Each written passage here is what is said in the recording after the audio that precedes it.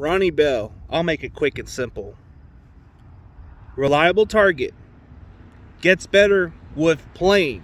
A seven round draft pick. That's a joke. The guy had a third or fourth round grade.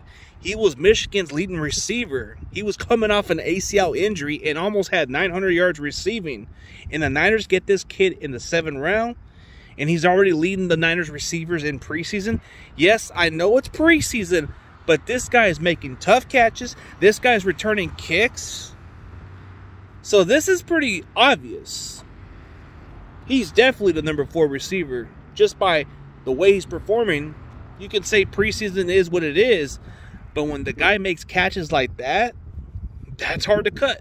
This guy is a seven round draft pick. This guy is earning the right to make the roster.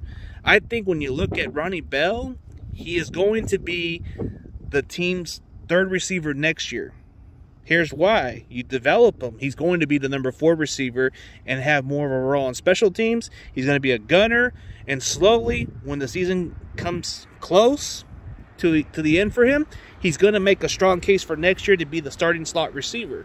So Ronnie Bell has those traits that Shanahan likes. Makes tough catches. He blocks and he can return kicks. He can be a gunner. This guy did everything at Michigan. So it's a steal because there's something there and you like that. And he was coached by Jim Harbaugh. You know how Jim Harbaugh coaches these type of players, bro? They play tough. They play hard for Jim Harbaugh. Imagine how hard he will play for Kyle Shanahan. Those are the type of receivers we look for. You can block, you'll get your you'll, you'll get your targets.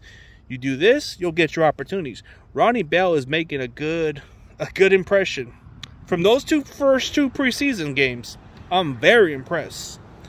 So hopefully it continues on because this kid is the he looks the real deal. That's my thoughts. Let me know what y'all think. Ronnie Bell, he's our leading receiver. Yes, it's preseason, but I feel like this kid's pretty raw. He's got potential. I got to look forward to this kid. As always, go Niners.